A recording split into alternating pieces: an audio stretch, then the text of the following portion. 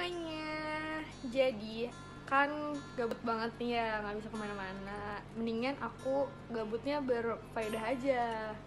Jadi aku mau ngasih tahu kalian Kalau kalian mau tahu Aku kan kemarin habis ke bazar buku gitu. Terus aku pengen tunjukin buku-buku apa aja yang aku beli. Dan yang pertama ini spesial banget Karena ini tuh uh, postcard.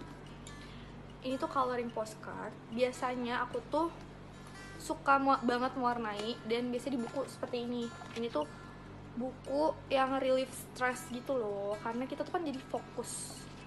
Nih kayak gini nih hasilnya contohnya ya. Terus kayak gini.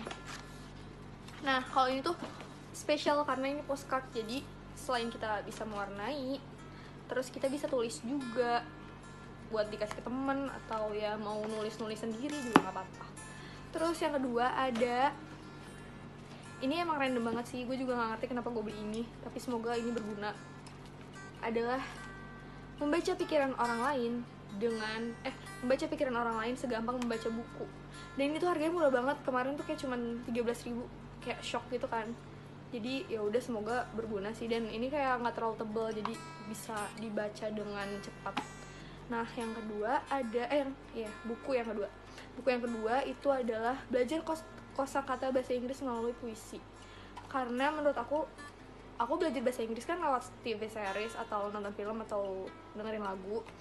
Cuman biasanya itu kan bahasa atau kosakata sehari-hari gitu kan. Jadi aku ngerasa kosakata yang aku kuasain itu masih terbatas banget jadi ini semoga berguna banget untuk aku yang ingin menguasai bahasa asing dan harganya juga murah banget sih cuman 20 ribuan gitu. Terus aku beli ini novel bahasa Inggris. Ini juga harganya murah banget. Sebenarnya juga nggak tahu ini isinya apa cuman kayaknya tertarik sih dari sinopsisnya. Menarik maksudnya. Jadi ya sudah kita beli saja.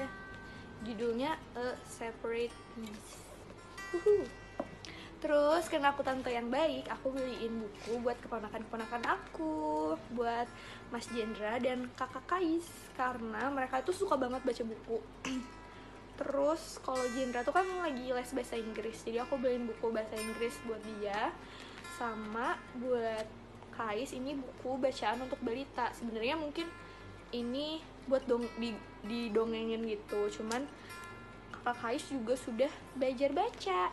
Dan kata-katanya juga gampang sih kayak buat anak-anak baca dan yang terakhir ada aku ke sana tuh emang sama Rahel niat banget buat beli buku untuk self improvement gitu.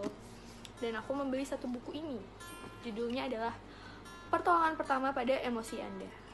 Kenapa sih aku beli buku ini jadi tuh kita dalam hidup kan sering banget ya ngalamin ngalamin sakit hati emosi yang nggak bisa kita kontrol gitu. Dan pasti itu gak enak banget kan ngalamin penolakan kesepian ngerasa bersalah. Terus ada sini ada kayak kegagalan ngerasa rendah diri dan hal-hal tersebut tuh bakal terus ada dan gak akan bisa kita hindari gitu. Tapi uh, di buku ini tuh dijelasin kenapa perasaan itu tuh bisa muncul. Terus kalau misalnya ditumpuk-tumpuk itu bakal jadi seperti apa. Terus dikasih tahu juga yang paling penting itu hal-hal preventif yang bisa kita lakukan kalau misalnya terjadi seperti itu terus obat-obat perasaan apa yang bisa kita terapin kalau kita ngalamin perasaan seperti itu. Karena juga sebenarnya aku orangnya benci banget penolakan tapi penolakan itu kan nggak bisa dihindari. Jadi jadi ya aku harap semoga buku ini berguna sih. Dan aku baru baca bab satunya dan emang bagus sih isinya. Jadi semoga kalian suka ya sama kegabutan aku ini. Jadi mau kayak narsis gitu ya tapi nggak apa-apa lah. Suka kan? Kalau misalnya kalian tertarik gitu misalnya aku udah baca bukunya kayak kalian pengen di review dong bukunya kalian komen aja oke? Okay? dadah